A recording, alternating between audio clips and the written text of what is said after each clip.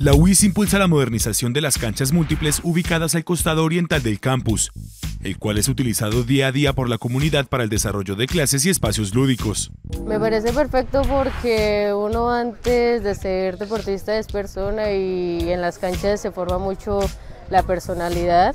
Me parece demasiado importante que se preocupen por el bienestar de las canchas, por el bienestar de los estudiantes, porque a largo plazo eso cada vez trae beneficios. El proyecto incluye el cambio total del piso, un trabajo de 25 días de ejecución, donde las personas encargadas renuevan el concreto de la cancha, realizan la instalación de conectores y malla de temperatura. Me parece excelente, ya que no son solo espacios para uso de clases, por ejemplo la de cultura física, sino que para esparcimiento también de todos los estudiantes, para estar constantemente jugando voleibol, eh, fútbol, básquet, eh, pues ya que eso ayuda a enriquecer la universidad.